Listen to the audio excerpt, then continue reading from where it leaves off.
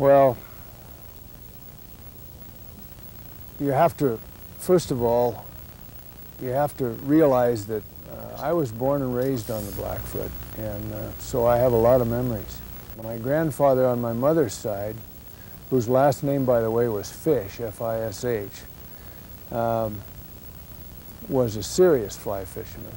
My great-grandfather on my father's side uh, was a fly fisherman. Gramps, we used to call him. My father was a fly fisherman. And so I have a tremendous number of very fond memories, uh, even when I was very young. I fished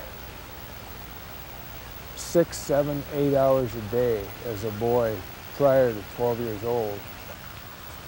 14, I guess. Uh, that's about all I did. I, I do odd jobs, you know, go earn a little money, but up until I was 14, I fish that river just about every day, all day long. And uh, when I think about the river being destroyed, the potential of that, uh, I get emotional.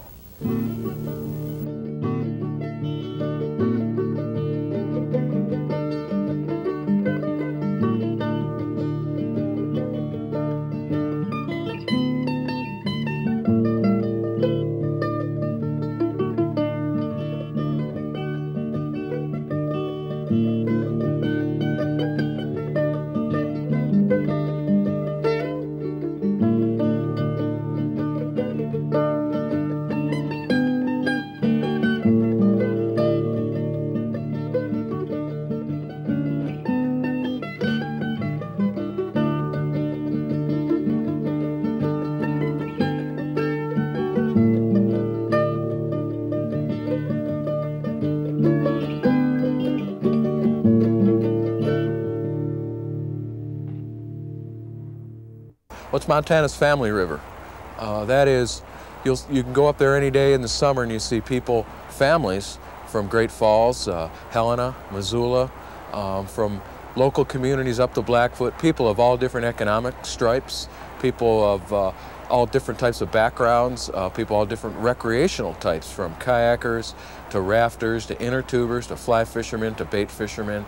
It's a really great thing about the Blackfoot. It has a lot to offer everybody in Montana. You don't have to be wealthy to go up and enjoy it. And there is no other stream that I know of in Montana, or not too many other streams in the world that have the diversity of fishing opportunities, of habitat, uh, and scenery, and total experience that the Blackfoot can offer. It and it's a treasure. This Blackfoot River and its tributaries are our arteries and our veins, and that's what keeps life in the Blackfoot watershed going for all of us.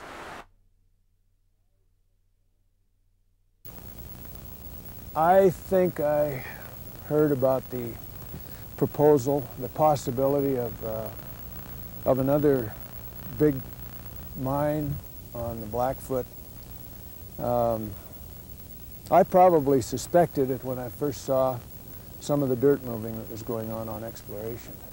And uh, I guess I got concerned right away. And, and then I started to hear rumors about Phelps Dodge and, uh, and the fact that they were doing exploration for possible large mine. Essentially, they want to take the uh, McDonald's meadow and uh, reduce it to about 980 million tons of waste rock and gold-bearing ore. The mining process that they're going to use up at the McDonald deposit is a cyanide heap leaching process. Uh, the waste rock and gold-bearing ore is loaded onto uh, heap leach pads and a dilute solution of sodium cyanide will be applied to it. Um, during the active life of this mine, uh, nine and a half million pounds of sodium cyanide are going to be used every single year to leach this gold out of the rock. And where the 7-Up Pete Joint Venture is, is one of the biggest drainages in the Upper Regis. It's right on the Landers Fork of the Blackfoot River. And in the top 30 miles, that's, that's the biggest drainage. There will be two cyanide heap leach pads raising, rising over 600 feet above the valley floor. Those will be left there in perpetuity. In addition to waste rock piles will be left behind. Uh, those waste rock piles will also be about 600 feet tall. The waste rock piles will cover nearly 900 acres of land up there. And it's just going to be a complete alteration of the landscape. Most importantly, though, we're going to be left behind with a big open pit. Uh, the pit that they're proposing to leave behind will be over a mile long, nearly a mile wide, and over a thousand feet deep. Seven Up Pete joint venture is going to be one of the largest open pit gold mines in North America, okay? Overall, this thing's going to cover probably something like uh, 5,500 acres of disturbance. That's the direct disturbance. That's not the off-site disturbance, which there will be because off-site, there will be off-site wildlife, water, fishery, recreational, and social impacts. They'll stretch all the way down the Blackfoot Valley. What you hear from the big companies and Phelps Dodge directly is um, this is the highest in technology. This is the best that we know. We will not backfill our pit because it's not economically feasible. Um, but we have all the information that you all need to know that this is going to be a safe gold mine. There will be beyond a shadow of a doubt, no spills, no troubles. Well, there's a lot of things that can go wrong. Uh, whenever you're disturbing large areas of land and piling up big heaps of rock and, uh, and handling large quantities of some toxic material, there's a lot of things that can go wrong, and a lot of things have gone wrong at a lot of sites in Montana. The impacts on water are uh, going to come from a whole bunch of sources. There will be the immediate on-site impacts at the mine, guaranteed, um, I'd bet a year's salary, which isn't a lot, that uh, there will be groundwater pollution. And the groundwater system around that mine is intricately connected to the river. And the groundwater pollution will come from uh, leaks, guaranteed, of cyanide solution. This very caustic solution is stored in big ponds uh, and then is pumped up and, and uh, trickled through the heap.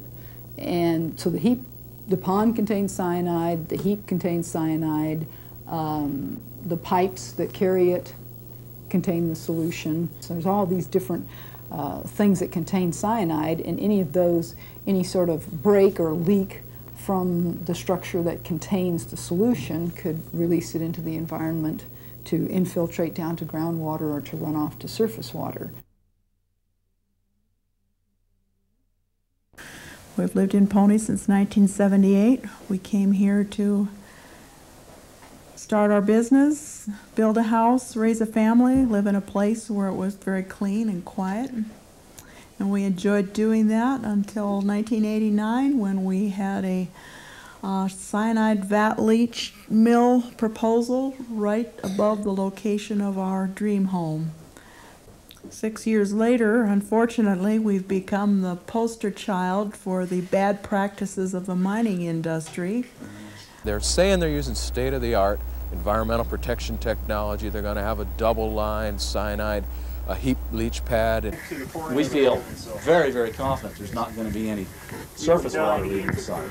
And then we've designed these systems so that there's not going to be any water leaking through the sites. And our ponds are set up so that we've got, uh, I guess redundancy or duplication so that if we have a leak in one, we can shut it down, transfer water, and go ahead and repair it and get it going.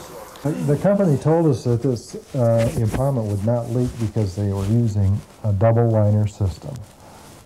As soon as they began to use the mill, the liner started to leak.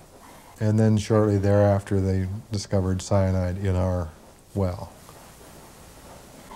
Now that there is a leak, there is no way to contain it, and only by spending a lot of tax dollars can it even be fixed the interesting thing about the cyanide technology that's in use today, the industry likes to promote it as a state-of-the-art technology, and what we've found to be more true is that it's experimental and untested.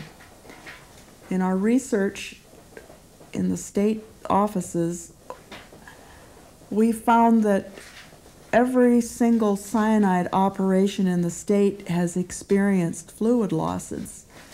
They all leak.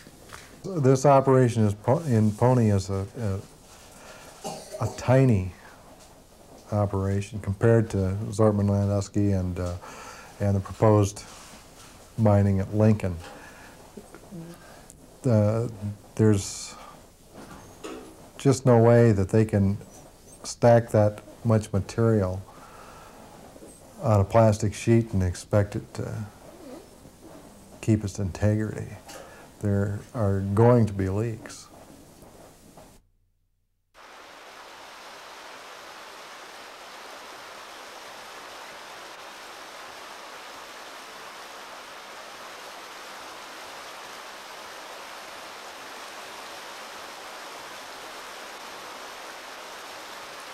Another big impact at some um, heap leach sites, and that's the problem of acid rock drainage, as it's called.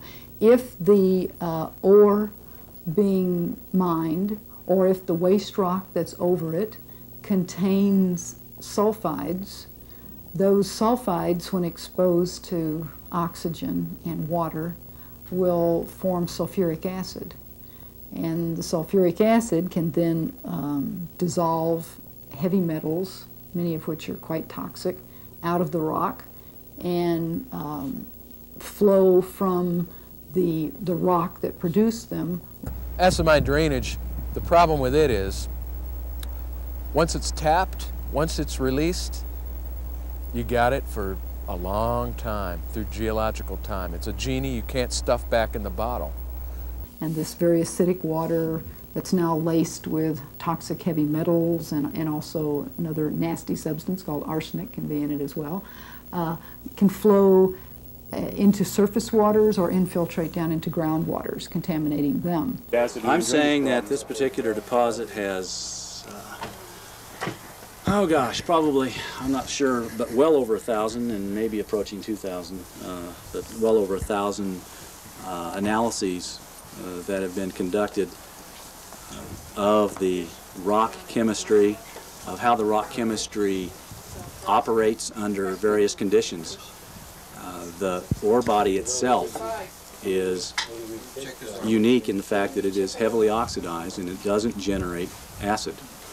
It's very hard to predict, apparently, whether or not a site is going to have this acid rock drainage problem. Uh, quite a few cyanide heap leach sites were not predicted to have uh, an acid rock drainage problem, like uh, Zortman Landusky mine is a good example, and I guess the, I think the Golden Sunlight's another. Um, they were not expected to have acid rock drainage problems, but now they do have very bad acid rock drainage problems. We began experiencing problems with our water as far back as 1982 when the native trout were found floating in the different streams in this northern drainages of uh, the Little Rocky Mountains. Uh, Virgil McConnell Elder was at the time a police captain of our police force. And uh, he turned these in to my father, Raymond Helgeson, who was the tribal judge at the time.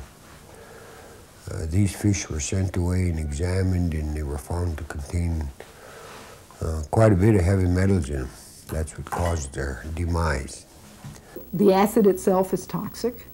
Uh, the um, heavy metals are, are simply directly toxic to aquatic life. Their aquatic life is very, very sensitive to a lot of heavy metals like copper and, and lead and so on. And arsenic is also a concern. Uh, we done a preliminary blood test on uh, about 15 people. Now, out of the 23 children that we tested, 15 of them had elevated lead levels. Uh, four of them out of that 15 was uh, high enough to concern a doctor to begin shots and uh, clean them up. So what did they do with that information? We gave it to Hillary Clinton two years ago, and I'll get back to you. She never did.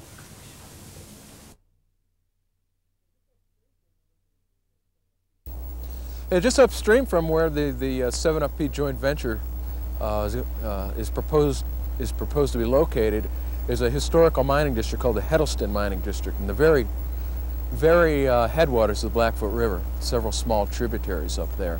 Um, there are two mine adits, that is, old underground mine workings, uh, the openings, that right now are kind of spewing out acid mine drainage. It's very colorful, real orange, because you, what you see is you see uh, iron oxide. It's one of the, one of the, the, the products of uh, acid mine drainage. Around uh, 1987 and into the first part of 1988, we started hearing concerns from uh, Blackfoot Valley residents and also longtime fishermen in the river that um, you know they had uh, they had a feeling that the numbers of game fish and the sizes of game fish were declining in the Blackfoot River.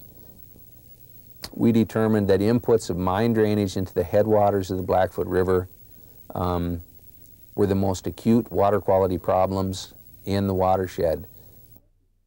The main problems that we found affecting the Blackfoot River uh, were number one was mining.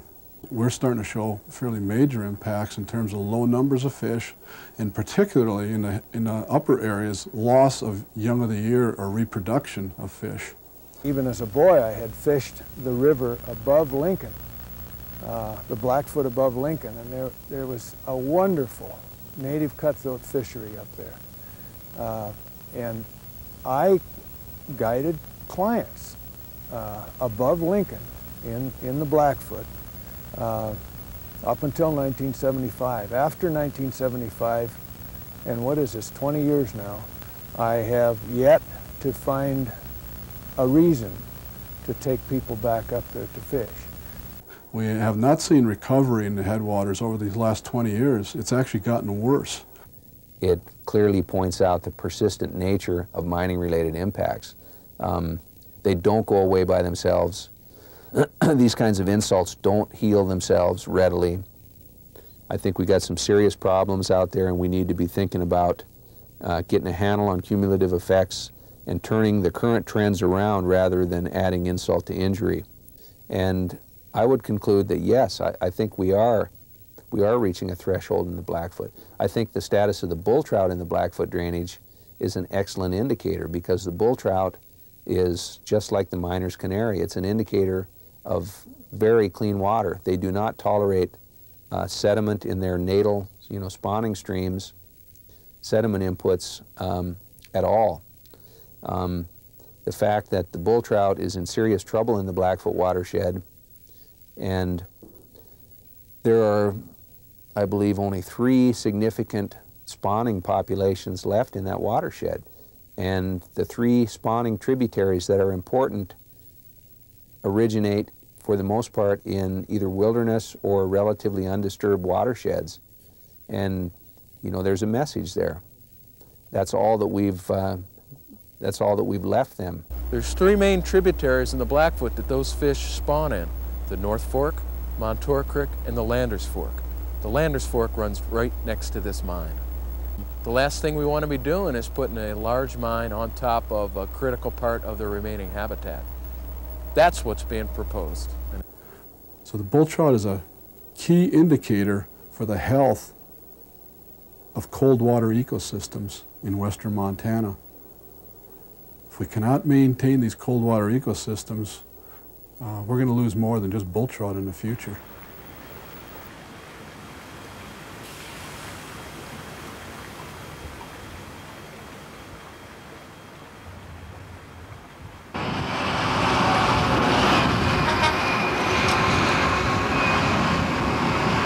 In a recent response to a environmental report card given to the governor, um, Governor Racicot said that permitting of mines is not a political issue, it's a scientific issue, and the law prevents him from being involved in that.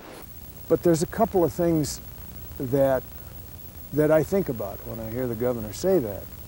One is the science isn't there. When you look at science, you also have to look at history what has been the ability of uh, the mining industry and the regulatory agencies' ability to predict with accuracy what the, uh, you know, the environmental outcome of hard rock mining uh, will be. it has been awful.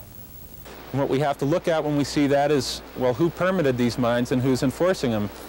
And the answer is the Department of State Lands, the same people who will be permitting this mine. Uh, we need to look if they've done a sufficient job in the past in permitting and assuring that environmental resources and water resources are protected. Um, from the track history of these mines, it doesn't appear that they have. And what can they do to assure us that things are going to be any different at this project? Senate Joint Resolution 28, passed in 1993, requested our office conduct a performance audit of the Hard Rock Bureau at the Department of State Lands. I, I found this Hard Rock audit to be incredibly disturbing. Uh, discussions of noncompliance, discussions of failure to notice violations of the law, discussions of, of, of uh, penalties arbitrarily reduced. One of the things that I found most disturbing about it is just what it says about the job this department's doing and what it says about our ability as the public, our ability to trust that the laws are being enforced. Contrary to what some of the public may think, the Montana Constitution and the Metal Mines Reclamation Act envision the taking of natural resources by mining if certain requirements are met as outlined in the Reclamation Act and MEPA. The Hard Rock Bureau's role is neither to promote or inhibit mining, but only to fairly administer the statutes and in that way meet the intent of the law to provide for the environmental and public protection. We were under, under the impression, as most of the public is, that applying for the permit indicates that there will be at some time a determination made whether there will be or will not be a permit, and that's not the case. Once the permit application is complete, a permit is, is written. There has never been a permit for mining denied in the state of Montana. Clearly, the pattern of this report documents consistent difficulty with accounting for processes and practices of the department. And contrary to editorial interpretations, the audit findings do not necessarily translate into environmental damage. Why did the department grant a permit to a mine on unstable ground and cause that mine now to have significant con economic consequences and the people in the community and that work for the mine? They don't know what their future is. It's got some other problems that you're aware that we've had concerns about, but you got a landslide under a big mill. And now we find out that that information, that geological knowledge, could have been gathered. The Zortman Landusky mine.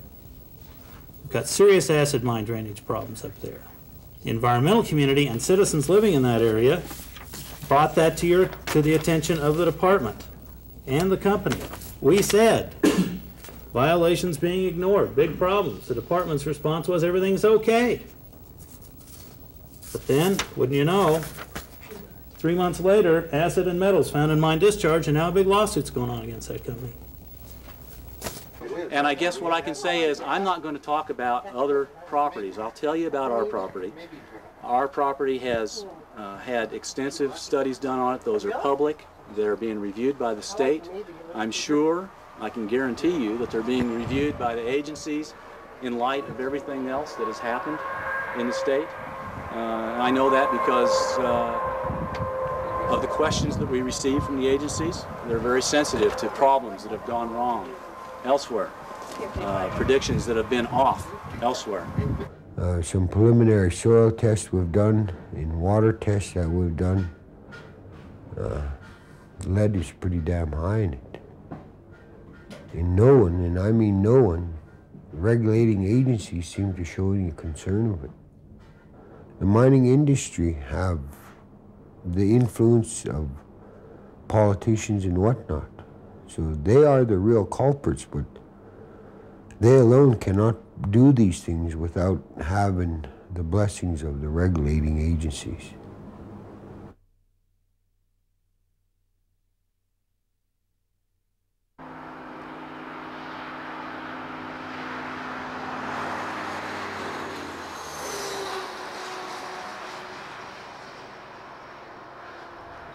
They first talk about Lincoln and its where it is in regards to the Continental Divide.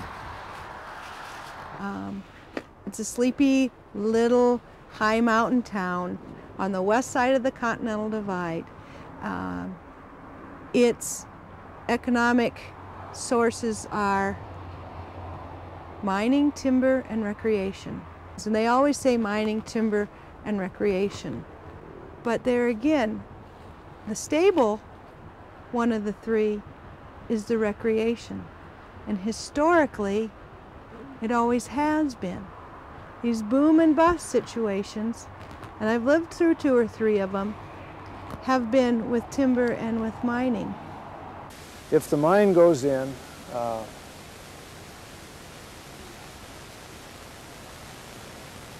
my interest in Lincoln business-wise is going to wane. There's no way around it because the interest of my clients won't be there. The history of Lincoln that has sustained us, that has paid our bills, that has been there year after year after year, that hasn't been any false hope, has been the recreationalists. That can work for us forever economically, not just for 20 years. And the money stays in Montana. It doesn't go out to some corporate coffers, either out of state or out of country. So this project is basically a 25-year project? Yeah. So after 25 years, what do the people of Lincoln do, you know, when you, when you pack up and move on? A lot of, you know, what did the people of Lincoln do? Uh, first of all, we would anticipate from at least the studies and whatnot that we've looked at is the majority of the people are going to live not in Lincoln, but in other places. You know, that's just, uh, there's not a whole lot of people in Lincoln uh, to start with.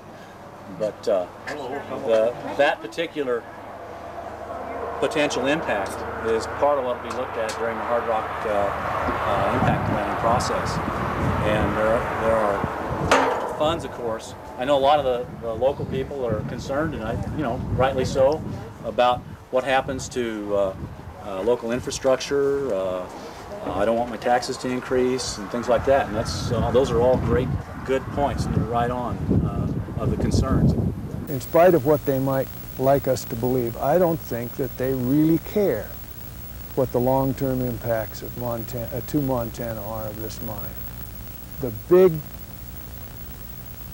mining companies, board of directors, and their uh, their CEOs. Uh, I know what's driving them.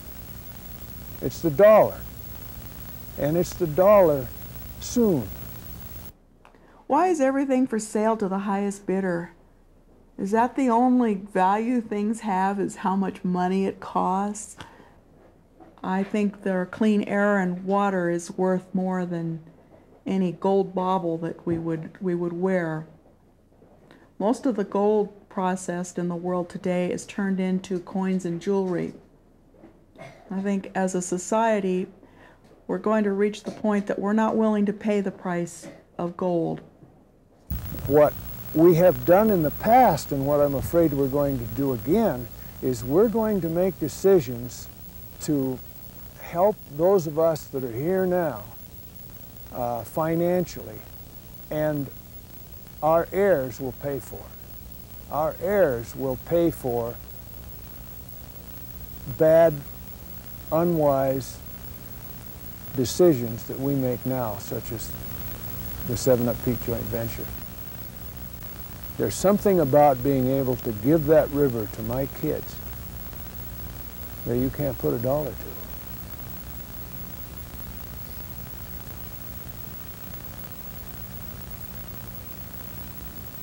Know, we can't do anything about what's already happened except to uh, tell our story and let other people know, hey, could be your town. Right. It's coming your way, people in the Blackfoot.